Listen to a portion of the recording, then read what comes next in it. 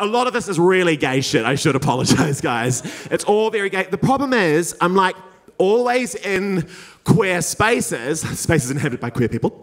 Uh, I'm always in these queer spaces that I just presume when I walk into any room that like 80% of the room is queer. I'm presuming that's the vibe tonight. Uh, I'm hoping so. Uh, so I'm falling into a trap. Okay, like all my, well, okay, I was gonna say all my friends are gay, which is an exaggeration. I do have like, like a couple, like one straight friend, which is mainly to look good. you know, it's like I have one sort of straight friend, and it's like it's my charity work, and my friends come over and they're like, "Oh my god, do you sponsor?" And it's like. Yes, I've got a photo of them on my fridge. It's like a dollar a day. Oh my God, that's so noble. Yeah, well, people are very vulnerable right now. They're being attacked a lot. Just a dollar a day, and it goes towards their R&V tickets every year. So, you are a hero. Uh, no, but I am only in queer spaces, right? Like, I'm in Okay, so I'm, i basically bounce between one of three spaces in my life. Um, my bedroom, the safe space that is my bed, and or I'm at the theatre, which I don't know if you guys realize is super queer. It's like, could we please have one straight male comedian tonight, just for a refresher? Um, just a palate cleanser.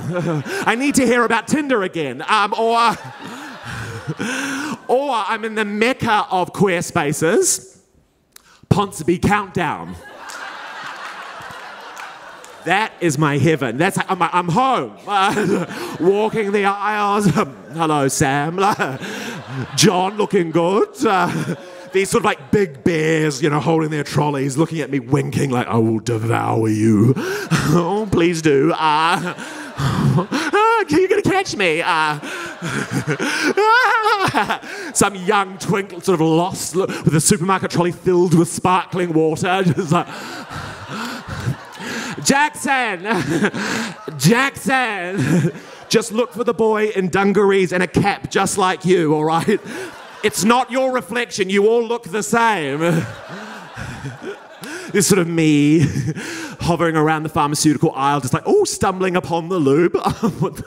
sort of, that's the reason why I came here. Uh, sort of quickly throwing one in my trolley, hiding it under a bag of baby spinach, just knocking all the other lube containers all over the floor. There's not enough baby spinach to hide my shame. Quick! All of us sort of gravitating towards that bougie, uh, you know, the, like the organics. Why the organic section? Why is it so much more glamorous? it's a chandelier, hard wooden floors, the, the glamour of tamari almonds. Ooh, all floating towards the psyllium husk. No, I'm actually just trying to work out how many gay people are here now.